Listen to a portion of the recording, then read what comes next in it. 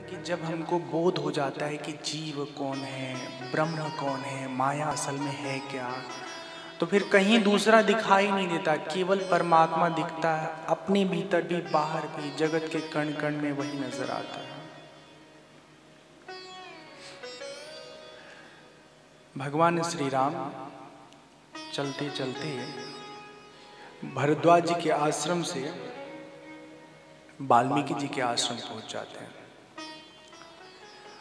वाल्मीकि जी बहुत प्रसन्न होते हैं भगवान से मिल करके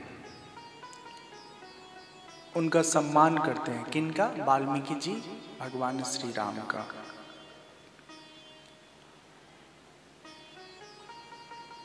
समाचार पूछते हैं वाल्मीकि जी कि अयोध्या सब ठीक ठाक है ना? कोई दिक्कत तो नहीं, कोई समस्या नहीं। भगवान कहते हैं प्रभु, आपको तो सब कुछ पता है। आपको भूत भी पता है, जो हो चुका, जो हो रहा है वो भी पता है और जो आगे होने वाला है, उसका भी आपको भली भांति ज्ञान है। तो इसलिए आपको क्या मैं अलग से बताऊँ? सारी घटना से आप पहले ही परिचित हैं।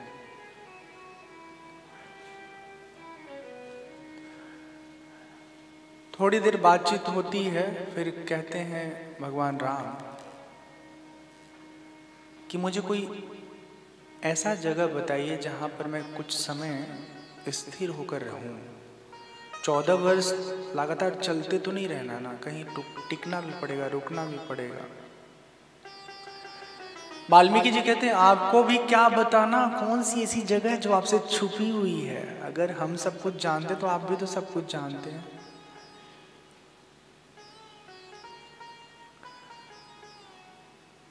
जग पे खन तुम। देख निहारे विधि हरि शंभु न चावनिहारे ते उन जानही, मरमु तुम्हारा, और तुम्हें को जाननी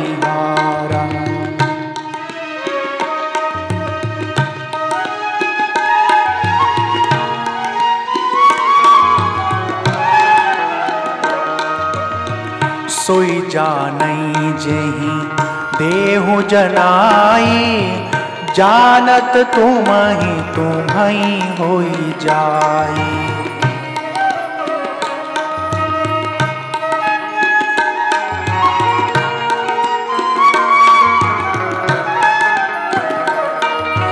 तुम्हारी कृपा तुम्हारी रघुनंदन जान ही भगति भगत और चंदन। तुम्हारी कृपा तुम्हारी रघुनंदन, जान भगत भगत उर चंदन।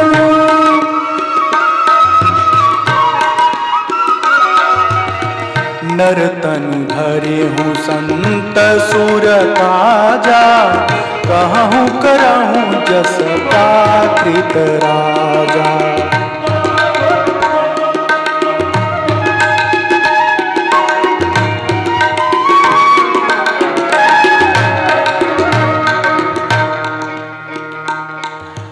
पूछूँ मोहि गिरहूं कहा।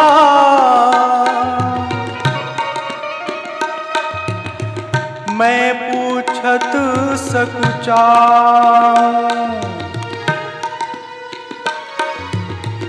जह न हो तह दे कहीं।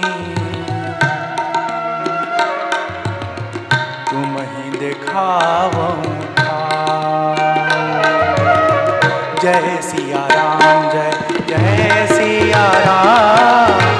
जय सिया राम जय सिया राम जय सिया राम जय सिया राम जय सिया राम जय जय सिया राम जय सिया राम जय जय सिया राम जय जय सिया राम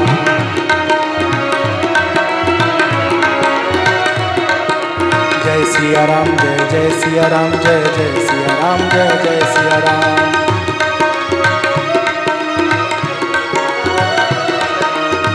सिया राम जय जय सिया राम जय जय सिया राम जय जय सिया राम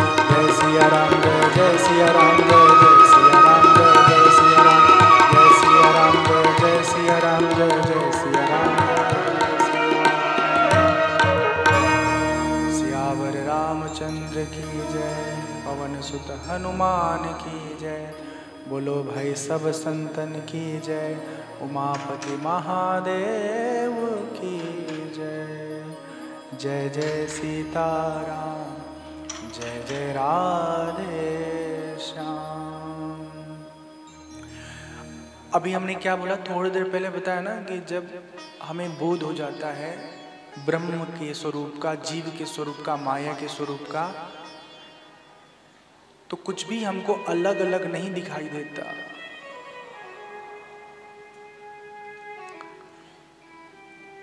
हर जगह हमको परमात्मा दिखते हैं, हर चीज़ में परमात्मा दिखते हैं, हम में और बाहर सब जगह।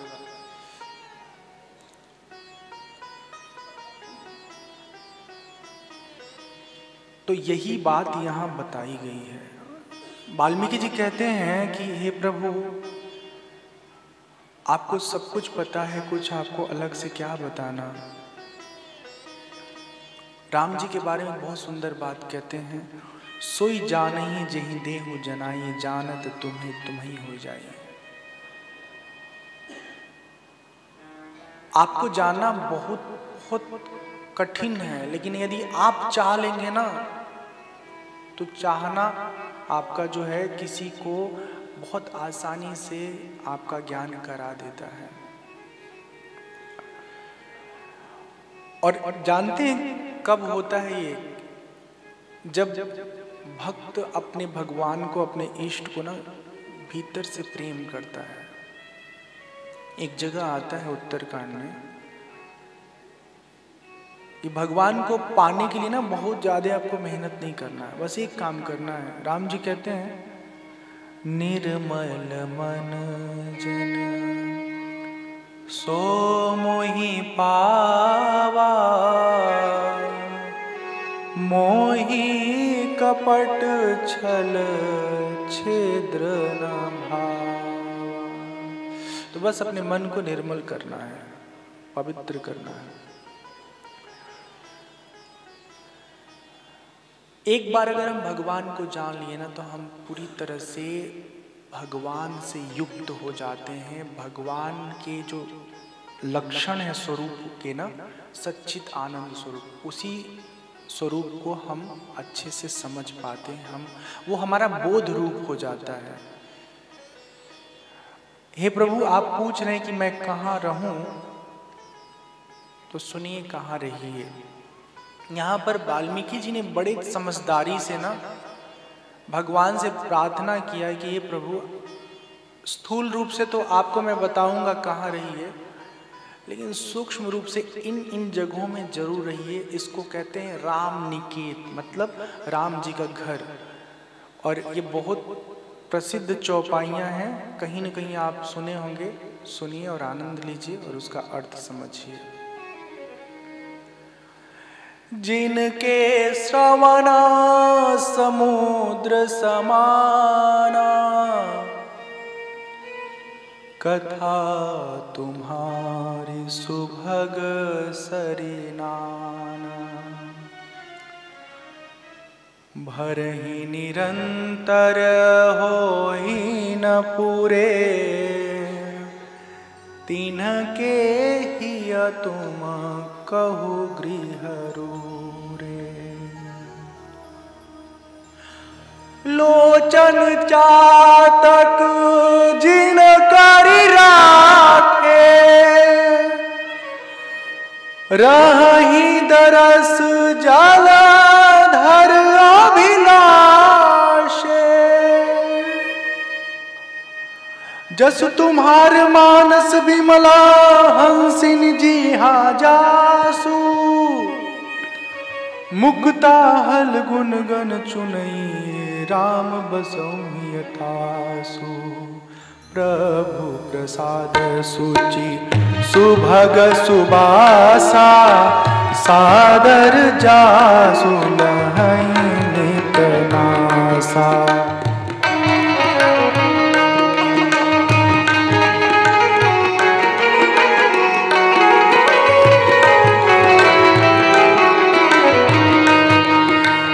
मंत्र राजनित जप ही तुम्हारा पूज ही तुम ही सहित परिवारा।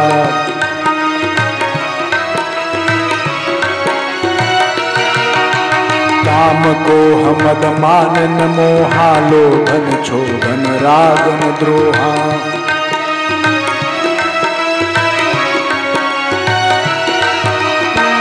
सबके प्रिया, सबके हितकारी।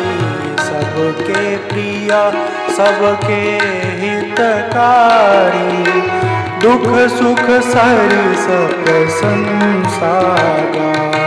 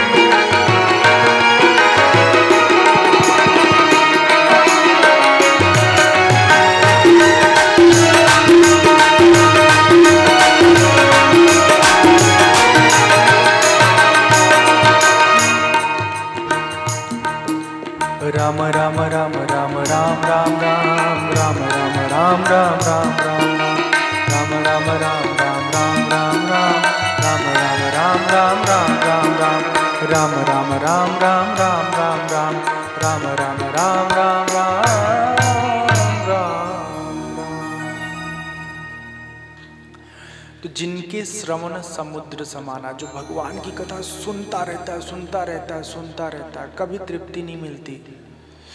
उसके कानों में प्रभु, आप वास करिए। तो अगर भगवान को अपने जीवन में लाना है तो दिल में नहीं सही कथा अगर सुनोगे तो कान में आके बैठ जाएँगे। ये बिल्कुल सही बात बता रहा हूँ।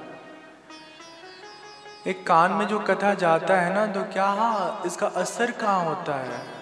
कान पवित्र नहीं होता है। कान के सहारे हृदय में जाकर के आपके भीतर की जो ना कलमश है, जो मलिनता है, उसको धो देता है। और भगवान क्या बोले? निर्मल मन जन सो मोहि पावा, मोहि कपट छल छिद्र न भावा। तो कुल मिला के अपने मन को निर्मल करना है।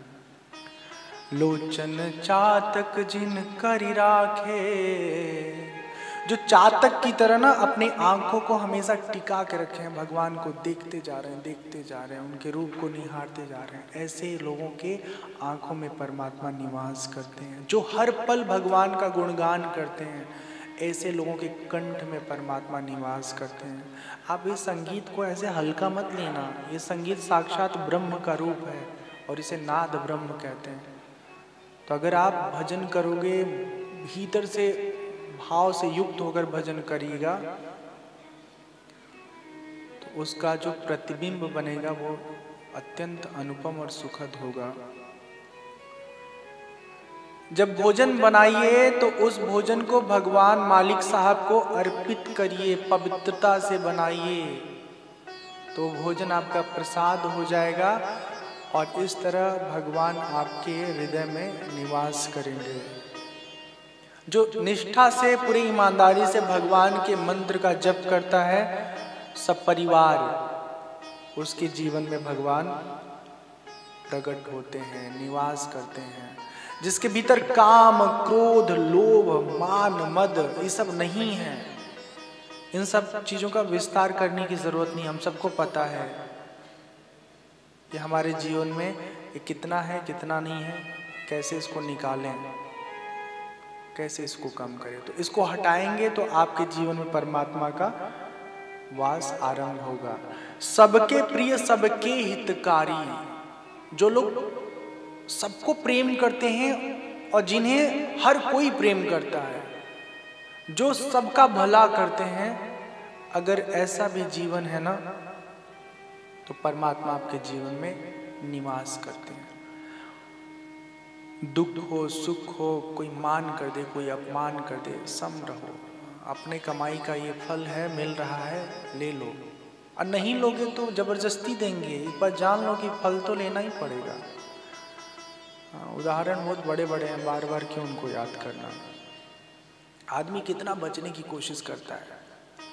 बच पाता है अपने कर्मों से नहीं बच पाता। अगर वो अदालत से बच जाता है तो भगवान के दरबार में नहीं बचता। कुछ न कुछ ऐसी हादसे उसके ज़िंदगी में हो जाते हैं कि जीवन भर झेलता रहता है।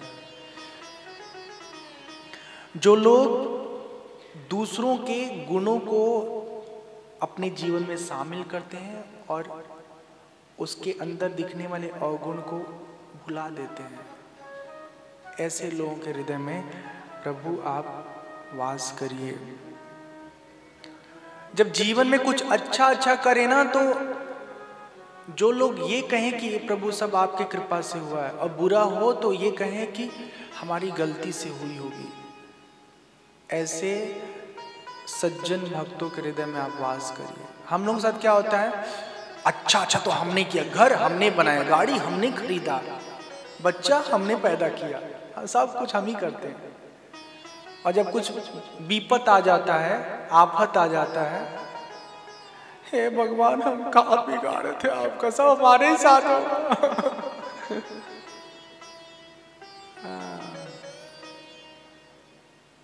गलती जहाँ भी हम करते हैं, हमारी अपनी अल्पज्ञता, नादानी के कारण हमसे वो चूक हो जाती है और उसका दुष्परिणाम भोगना पड़ता है। और जहाँ भी कुछ अच्छा होता है ना भगवान की कृपा के कारण होता है। आदमी के तो एक ठो छोटा सा रोहटूट हो जाए ना शरीर के अंदर तो आदमी पनपना के रोता है, चिल्लाता है, चीखता है क्या सामर्थ्य है? छोटा सा दर्द नहीं सह सकते। इसलिए हम आपको बता रहे हैं कि जब उपलब्धियाँ जीवन में आए ना तो उसको भगवान की कृपा मानिए, अपने कुल खानदान का पुण्य मानिए, पूर्व जन्म में आपने कुछ अच्छा किया होगा। तो आज आपके जीवन में वैभव है। अब देखिए, रामदेव बाबा जी हैं और योगी आदित्यनाथ जी हैं। ये मत सोचिए कि इस जन्म के दिमाग लगा के पॉलिटिकल हथकंडा अपना करके और सीएम बन गए। सीएम तो उनके बारे में कोई सोच ही नहीं सकता कि वो बनेंगे। उन्हीं को नहीं पता था कि हम सीएम बन पाएँगे। आखिरी आखिरी दिन कितना बवाल था। ये बनेंगे, वो बनेंगे वो बनेंगे खटाक से बन गए। अरे, इसको ठीक करिए ना, कोई लोग आप लोग। पढ़े लिखे लोग हैं, इतना नहीं हेल्प कर सकते हैं। तो आओ, मांगो मेरे से। गुस्सा आएगा मेरे को।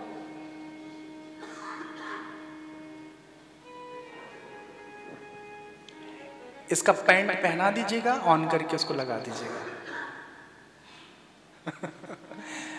आप लोगों को लगता होगा ये सब क्या? अरे भैया, ये सब बहुत बड़ी ताकत है। हम आपके पास आए तो इसी के दम पे आए। हमको कोई, हमारा बहुत मिलना जुलना होता रहा, लेकिन जब आपकी चीज़ें आपको नज़र आती हैं सामने की ठीक हो रही हैं तो औरों को भी सुख मिलता है ना? तो हमारा नाम है डिजिटल बाबा, ठीक है? हंस लीजिए, लेकिन ये सही बात है। और हमको जो करीब से जानते हैं, उनको पता है कि हमारा टैलेंट क्या है। सब काम कर लेते हैं। तो हम थोड़ी सी बात करके निकल जाते हैं ये जो जीवन में ज़बरदस्त परिवर्तन आता है, ज़बरदस्त उपलब्धियाँ आती हैं ना, वो केवल भगवान की कृपा से होता है। पिछले जन्म का कुछ पुण्य होता है। रामदेव बाबा जी को देखो, दुनिया के सबसे बड़े बिजनेसमैन बनने जा रहे हैं। उनके बिज़नेस वाले इमेज को हम कभी पसंद नहीं करते हैं। लेकिन चलो, अच्छी बात है।